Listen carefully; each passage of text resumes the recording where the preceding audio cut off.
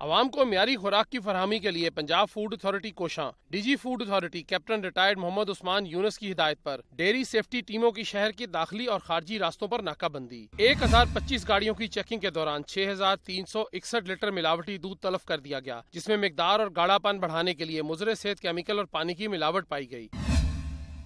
DG food authority ने दूध में मिलावट के खात्मे के लिए पेस्चराइजेशन का कानून लाजमी करार दे दिया। कहते हैं 2022 तक खुला दूध मुकम्मल बंद। सिर्फ़ पेस्चराइज दूध ही दस्तियाब होगा। मिलावट का खात्मा करके लाहौर को मॉडल सिटी बनाएँगे। कैप्टन रिटायर्ड मोहम्मद उस्मान का कहना था की आवाम को म्यारी खुराक की फरहमी के लिए टीमें दिन रात काम कर रही है। कैमरा टीम के साथ इमरान मलिक, लाहौर न्यूज़।